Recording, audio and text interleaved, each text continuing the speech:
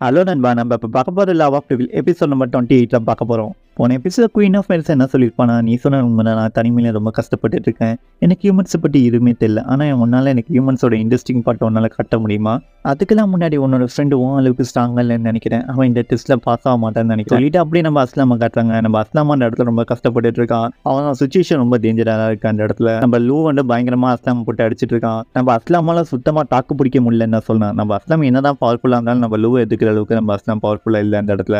அதை பார்த்தா நம்ம அஸ்லாமே வந்து ஷாக் ஆகுறான் இவன் ஏன் இவ்வளோ பவர்ஃபுல்லாக இருக்கான்? ஒரு ஸ்டில் அடித்து நம்ம அஸ்லாமை தள்ளி விட்டுறான். அதுக்கப்புறம் இதெல்லாம் பார்த்துட்டு இருந்தா நம்ம குயின் ஆஃப் மிர்சா என்ன சொல்கிறேன்னா எனக்கு தெரிஞ்சு இவன் ஜெயிக்கிறதுக்கு வாய்ப்பு இல்லை. அப்போ நம்ம ஹீரோ அதை கேட்டதுக்கப்புறம் நீங்கள் சொல்கிறது உண்மைதான். அவனுக்கு மனசுக்குள்ள ஒரு கில்டினஸ் இருக்குது அதனால தான் இவ்வளோ கஷ்டப்பட்டுட்டு இருக்கான். அவன் ஃப்ரெண்டு அவன் கொண்டதுனால அந்த வழியால் தான் இவன் இவ்வளோ நேரம் ஸ்ட்ரகிள் பண்ணிட்டு இருக்கான். சரி இவன் வெளில வரத்துக்கு வேறு ஏதாவது வழி இருக்கா? உன்னால் பண்ண முடியுமா? அது மாதிரி. அது குயின் ஆஃப் பென்ஸ் என்ன சொல்கிறேன்னா அவன் இந்த டெஸ்ட்டில் பாஸ் ஆனால் மட்டும் அவனை வெளில வர முடியும். இல்லைனா இலியூஷன் கண்ணி ஆகிட்டே இருக்கும் அவனுக்கு. அதுக்கப்புறம் நம்ம அஸ்லாமை காட்டுறாங்க. நம்ம அஸ்லாமால சுத்தமாக முடியல. நம்ம லூ அடிச்ச அடியில் நம்ம அஸ்லாமுக்கு பயங்கரமாக அந்த இடத்துல வழியெல்லாம் தாங்க முடியாமல் கஷ்டப்பட்டு இருக்கான் நம்ம அஸ்லாம். இப்போ கூட அவனுக்கு ஒரு வாய்ப்பு தான் தரேன் அஸ்லாம். நீ தயவு செஞ்சு எங்கள் கூட வந்து திரும்பி சேர்ந்துடு. நீ இந்த இடத்த விட்டு போகணும்னு நினச்சனா உன உயிரோட விட மாட்டேன். நீ டெம்பிளுக்கு சார்பாக இன்னைக்கு அதால் போராட ஆகணும். ஏன்னா நம்ம எல்லாருமே நைட் அதுவும் டெம்பிள் நைட் நம்ம எல்லாருமே ஆனரபுளான ஒருத்தவங்க. இன்னும் கூட டைம் இருக்குது திரும்பி இங்கே கூட வந்து சேர்ந்துரு. அதுக்காக நம்ம என்ன சொல்கிறேன்னா திருப்பி அந்த இடத்துக்கா? உனக்கு ஒரு விஷயம் தெரியுமா? கொஞ்ச நாளைக்கு முன்னாடி நான் ஒரு இடத்துக்கு போனேன். அதுவும் நம்ம டெம்பிளில் இருக்கிற சீக்ரெட் பிளேஸுக்கு அங்கே நான் ஒரு விஷயத்தை பார்த்தேன். அது என்னால் இன்ன வரையும் நம்ப முடியல. நம்ம கடவுள் தான் நமக்கு சக்தி கொடுத்துட்டு தான் நம்ம இதுவரையும் நம்பிட்டு இருந்தோம். அது எல்லாமே போய் நான் அந்த இடத்துல தான் எனக்கு புரிய வந்துடு அதில் அந்த பரிமோன ஸ்பிரிச்சுவலில் அழகன்றோலான ஒரு பவர் இன்க்ளூட் ஆகுது. அதனால் தான் எனக்கு கடவுளுங்கிற மேலே நம்பிக்கையும் போச்சு அதே சமயத்தில் டெம்பிள் மேலே இருந்த மரியாதையும் போச்சு.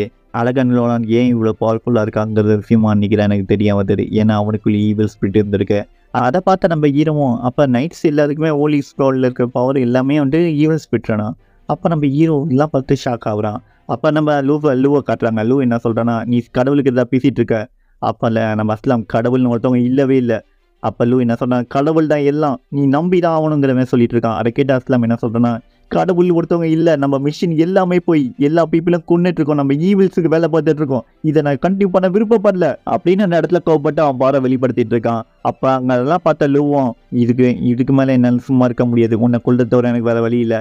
அப்போ ரெண்டு பேருமே பயங்கரமாக அட்டாக் பண்ண போகிறாங்க அதில் ஒரு ஸ்டேஜில் நம்ம அஸ்லாம் என்ன பண்ணிடுறான்னா கத்தி எடுத்து அப்படியே லூ வயிற்றுல சொருகிடுறான் இந்த சீன் தாங்க நமக்கு ஸ்டார்டிங்கில் காட்டினாங்க லூ இப்படி செத்துருக்காங்கிறதுக்காக அப்போ லூ என்ன சொல்கிறேன்னா இதுக்கு மேலே உன்னை என்னால் பார்த்துக்க முடியாது. நான் சாக போகிறேன் இனிமேல் நீ தான் உன்னை பார்த்துக்கணும் மை பிரதர் அதை கேட்ட நம்ம அஸ்லாமும் நான் இப்படி பண்ணுறதுக்கு என்ன மன்னிச்சிடு. எனக்கு வேறு வழி தெரில இனிமேல் நானே என்ன பார்த்துக்கிறேன். இன்றைக்கி நடந்த எல்லாத்துக்கும் என்ன மன்னிச்சிடு மை பிரதர் அதுக்கப்புறம் நம்ம அஸ்லாமா அவனோட மைக்கெட்லேருந்து எடுக்கிறான் அதாவது இலியூஷன்லேருந்து அவன் வெளில வந்துட்டான். ஏன்னா நம்ம அஸ்லாம் வந்து திரும்பி அவனை கொண்டுட்டான்ல அதனால இலியூஷன்லேருந்து அவன் வெளில வந்துடுறான். அவன் கண்ணை முடிச்சதுக்கப்புறம் நம்ம ஹீரோவும் அஸ்லாம் பக்கத்தில் வந்துட்டு கொஞ்சம் டெஸ்ட்டில் நீ பாஸ் ஆகிட்ட நீ ரொம்ப லேட்டாக வந்திருக்க. அதை கேட்ட அஸ்லாம் நீ இப்போ என் இலீஷன் எல்லாத்தையும் பார்த்தியா அதுக்கு நம்ம ஹீரோ நான் வேணும்லாம் பார்க்கல உன் ப்ரைவசியில் ஆனால் பார்க்குற மாதிரி சுச்சுவேஷன் வந்துடுச்சு அதை சொன்னதுக்கப்புறம் சரி எனக்கு எதை பற்றி கவலை இல்லை. இந்த சீக்ரெட்டை பற்றி நீ சொன்னாலும் எனக்கு பிரச்சனை இல்லை. நம்ம ஹீரோவும் பரவாயில்ல இவன் தோட்டி பயங்கரமாக கோவப்படல. அப்படியே பார்த்துட்டு தான் சுற்றி இருக்கவங்க எல்லாருமே அந்த இல்யூஷன்லேருந்து வெளில வந்துடுறாங்க. அப்போ நம்ம டேம்லாம் என்ன இல்யூஷன்ப்பா என்ன தாக்கு பிடிக்க முடியல. அப்போ நம்ம ஹீரோ தண்ணியை கொடுத்துட்டு உன் இல்யூஷன் எல்லாத்துக்கும் காரணம் குயின் ஆஃப் மெடிசா தான். உன்னை இப்போ காப்பாடுறது கூட நம்ம கூட தான் சொல்லலாம்.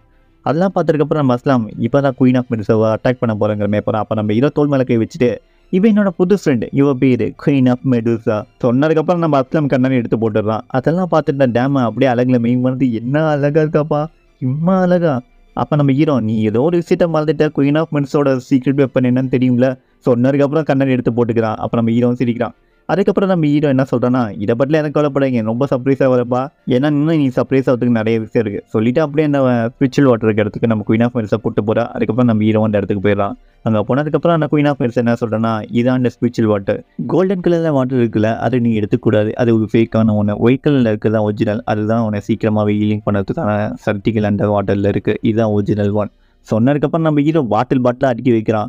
அதெல்லாம் பார்த்து அஸ்லாம் நீ என்னடா பண்ண போகிற இவ்வளோ வாட்டர் கலெக்ட் பண்ணிட்டு என்ன பண்ண போகிறேன் அப்போ நம்ம ஹீரோ என்ன சொல்கிறான் நம்ம ரொம்ப தூரம் போக போகிறோம்ல நடுவில் ஏதாவது நடந்துச்சுன்னா என்ன பண்ணுறதுங்கிற மாதிரி சொல்கிறான் அப்போ நம்ம ஹீரோ என்ன சொல்கிறான்னா நீ என் கூட வரியாங்கிற மாதிரி கேட்குறான் குயின் ஆஃப் மெரிசாவை அப்போ குயின் ஆஃப் மெரிசா என்ன சொல்கிறேன்னா உங்கள் கூட நான் வரணுமா?